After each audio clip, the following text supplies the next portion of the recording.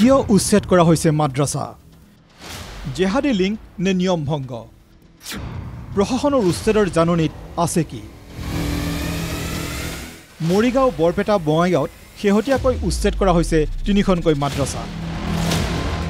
মাদ্ৰাছাত link ওলাইছে জেহাদীৰ। বিভিন্ন প্ৰান্তত গ্ৰেপ্তাৰ হোৱা একাংশ জেহাদীয়ে শিক্ষকতা কৰিছিল এই মাদ্ৰাছাকেইখনত।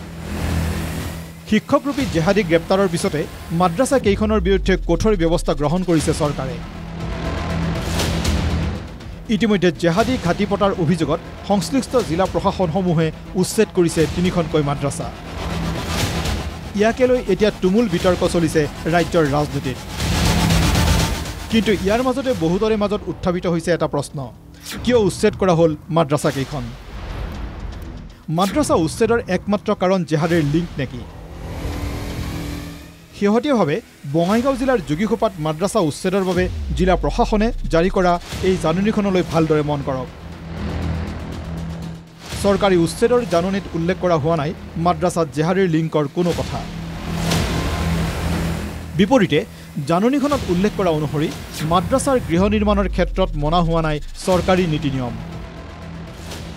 নীতি নিয়ম উলংঘা কৰি নিৰ্মাণ কৰা হৈছিল মাদ্ৰাছাৰ গৃহ। যাৰ বাবে জুই ভূমিকম্প আদিকেই ধৰি বিভিন্ন প্ৰাকৃতিক দুৰ্যোগৰ সময়ত হ'ব পৰা ক্ষয় ক্ষতিৰ বিষয়ে উল্লেখ কৰা হৈছে জাননীত। ফলত ৰাজ্যিক দুৰ্যোগ প্ৰশমন বিভাগৰ নীতি নিয়ম উলংঘা কৰাৰ বাবেহে উচ্ছেদ কৰা হৈছে মাদ্ৰাছাখন। আনকি গৃহ নিৰ্মাণৰ সময়ত যাৱতীয় অনুমতি নোলোৱা বুলিও অভিযোগ অনা হৈছে উচ্ছেদৰ জাননীখনত। অৰ্থাৎ জেহাদীৰ লিংক পোৱা বাবে নহয় চৰকাৰী নীতি নিয়ম উলংঘাৰ বাবেহে জিলা প্ৰশাসনে উচ্ছেদ কৰিছে মাদ্ৰাছা। এই সন্দৰ্ভতো প্ৰতিক্ৰিয়া প্ৰকাশ কৰিছে এ আই ডি এফৰ বিধায়ক আমিৰুল ইছলামে। বিধায়কজনৰ অভিযোগ উচ্ছেদৰ ক্ষেত্ৰত নীতি নিয়ম মানি চলা নাই প্ৰশাসনে। ইয়াৰ বিপৰীতে আইনৰ আশ্ৰয় লোৱাৰ হুংকাৰ দিছে এ আই ডি এফে। আজি তেখেতে কৈছে যে এইটোত গভৰ্ণমেণ্ট পাৰ্মিশ্যন নাই। সেইটো আৰ্বান এৰিয়া নহয়তো সেইটো পঞ্চায়ত এৰিয়া পঞ্চায়তৰ পাৰ্মিশ্যন আছে তেখেতসকলৰ তাত class এইটলৈকে science math H C teacher আছে। গোটেইখিনি পঢ়োৱা হয়। জেনেৰেল এডুকেশ্যন তাত কৈ হৈ আছে। কিয় ভাঙি দিলে? Directly article twenty eight twenty nine directly violation হৈ আছে। আজি সন্ধিয়া ছটা বজাত নটিচ দিছে।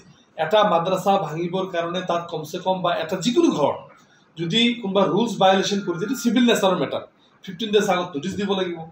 তাৰপিছত সিহঁতৰ যদি সেইটো ৰেক্টিফিকেশ্যন কৰা মেটাৰ আছে সেইটো ৰেক্টিফিকেশ্যনৰ কাৰণে আৰু তিনি মাহ সময় দিব লাগিব যে আপোনালোকে তিনি মাহৰ যে কাগজ পাতিখিনি গোটাই লওক সুবিধা দিব লাগিব। কিন্তু ডাইৰেক্ট বুলডোজাৰ লগাই সন্ধিয়া ছটা বজাত নটিচ নটা বজাত গৈ বিছ মিনিট ল'ৰা ছোৱালী ওলাই যাওক। এই ল'ৰা ছোৱালীবিলাক আমাৰ নহয় নেকি? Bureau report N K TV